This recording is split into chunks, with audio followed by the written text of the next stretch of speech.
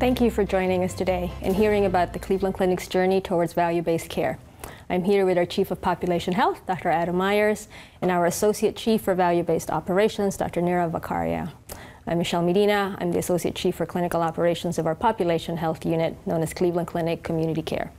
So how did we do this? When we launched Community Care in 2017, we considered three questions around how can we make population health real for our system. The first is how do we leverage data? The second, what types of investments should we make in our primary care workforce? And the third, how do we engage patients in the community in this work? So let's review each one. A robust data set is key to population health management. It allows our teams to identify the care opportunities that can move populations towards more optimal health outcomes.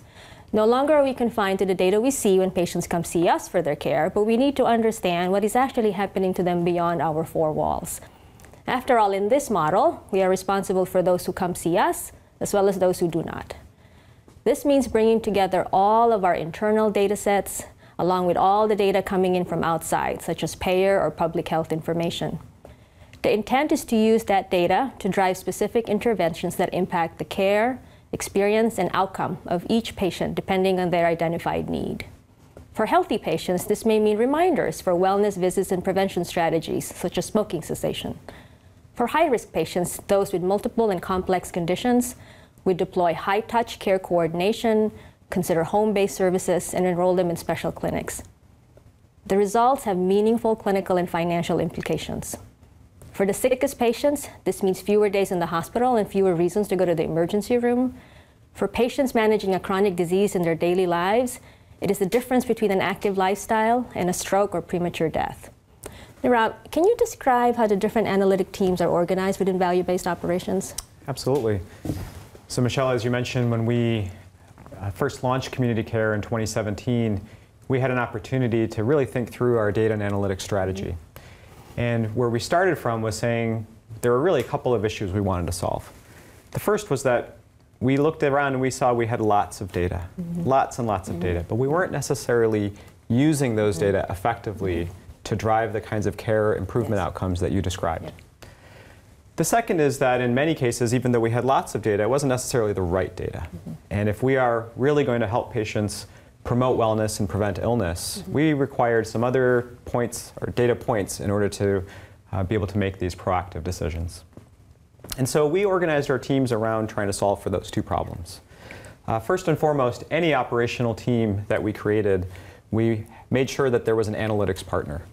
And it wasn't just someone who could provide a spreadsheet of the data that was needed, but also was someone who could help the team understand mm -hmm. and be in a relationship as opposed to a transaction around what sorts of data were needed to help solve their problems. Mm -hmm. And that has proved fruitful. Uh, we count sort of the, the new inquiries that come in from our caregivers or from our frontline teams mm -hmm. as a sign of success. When they want more data, we know that, mm -hmm. that uh, they're waking up to the opportunity. Mm-hmm. For the second issue, which was around are there areas where we could collect different or more meaningful data? You know, historically in healthcare, we measured what we could. Mm-hmm. We measured uh, what happened in a given process. But if what really matters here is the outcomes that we're driving, we wanted to make sure we can move in towards measuring those. Mm -hmm. A lot of that required actually talking to patients directly and getting data from them. Mm -hmm. And so we instituted a variety of means for being able to, in an as unobtrusive of a way as possible, understanding what's their level of support in the home. Yes. And if it wasn't where they wanted it to be, it allowed us an opportunity to help fill the gap. Uh, we know that behavioral health concerns really impact one's ability to care for oneself. So we started to look at how do we understand that in a way that honors and respects patient privacy, but also allows us to really match the resources when there was a need. And so through the measurement of things like behavioral health, mm -hmm. social determinants mm -hmm. of mm-hmm. health, and actual outcomes, like does someone feel better about their health after certain things that we've helped them manage, this is the data strategy that we are underway. I can't say it's perfect yet, but we're definitely moving in the right direction. And a lot of that has to do with making sure we measure what matters, not just measuring what we can. Thank you.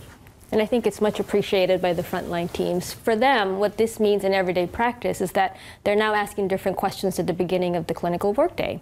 And the teams get to shape the work to best respond to those answers. If they know who might end up in the emergency room, then they can find a way to call them or bring them in. If they know who has trouble making appointments because of transportation, then let's all figure out how to get them the assistance. Which brings us to the next key consideration the primary care workforce. The US has historically underinvested in primary care, again because it largely operated on a fee for service track.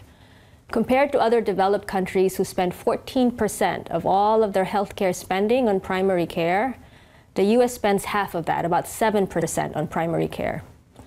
This has led to a growing shortage of primary care physicians, outstripped by the growing demand equally of an aging population with more chronic disease and with higher consumer expectations for service. It is not surprising then to see higher rates of physician burnout. Physician and caregiver burnout have tremendous impact on access, quality, and safety, especially when physicians leave practice or feel like that their practice has become depersonalized. Even among our patients, they have raised a concern that the long hours and the huge work demands may lead to their own physician's burnout.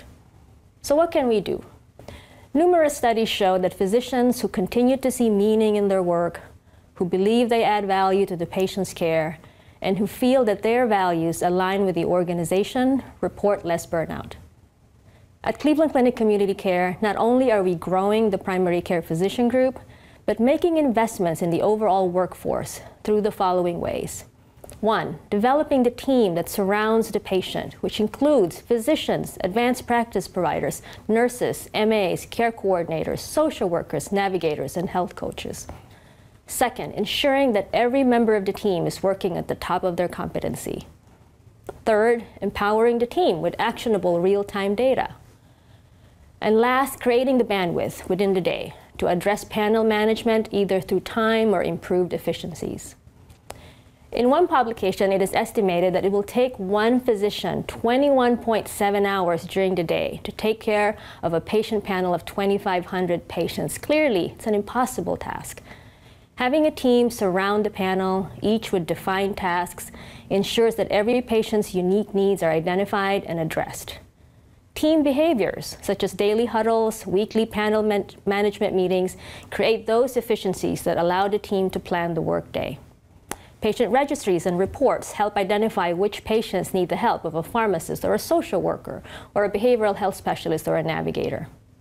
With our new team access innovation, we are piloting even more ways to expand the physician's bandwidth by giving them focus time during the day to do the panel work leveraging distance health technology, and really optimizing the collaborative model between the physician and the advanced practice provider.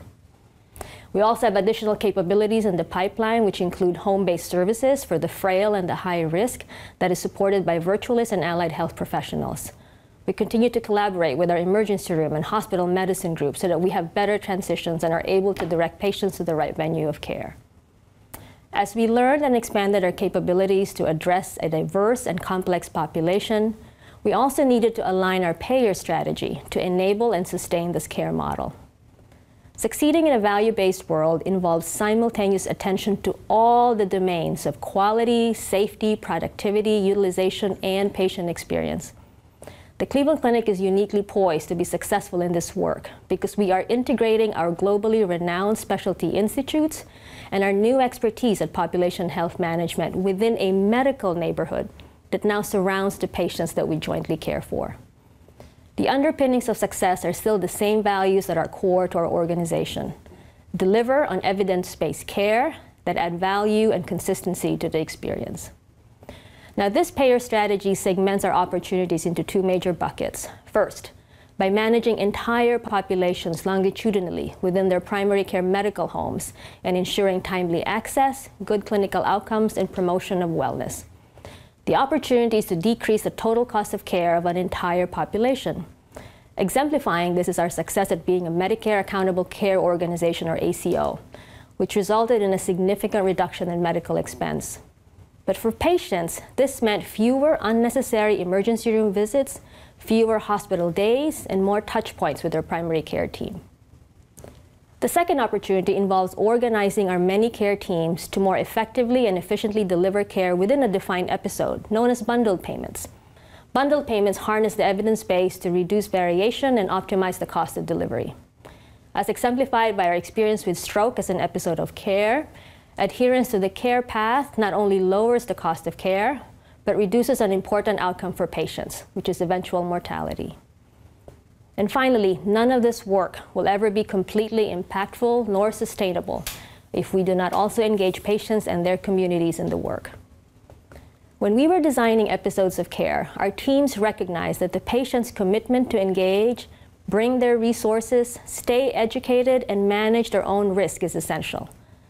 Patients undergoing hip and knee replacements will not be able to go home safely unless they take that first step out of the hospital bed. Communities will see a reduction in obesity as a major predictor of chronic disease once they invest in the built environment of safe paths, nutritious food sources, and supportive circles of citizens. Adam, will you tell us how Cleveland Clinic is engaged in this important work of raising healthy communities? Absolutely. Traditionally, many health systems have viewed their responsibility at ending at their doors. That's no longer the case. We embrace our role as an, an anchor institution dedicated to strengthening the communities in which we live, work, and care. Anchor institutions live, buy, hire, and invest locally. What does that look like? Frankly, it takes partnership. Hospitals have a lot of laundry to do, for example, a lot of laundry. It's one thing that we all have in common. Several years ago, the Cleveland health systems, several health systems, uh, got together and decided that they could solve this problem in a fairly unique way. And they established and, and invested together in a community owned laundry service that we all share and uh, get our laundry done at. It, it now prospers. Lives have been changed. Employment has uh, been established. The funds flow here locally, and we have clean laundry. It is one of many examples, frankly, in our community where what might otherwise be viewed as competitors are collaborating together. There are other examples to get that we could share but this is just one about how we're making a difference together in the community. Thank you. And thank you all for your time and attention today. Coming up, we'll hear from Dr. Vakharia on the lessons that we've learned from this journey.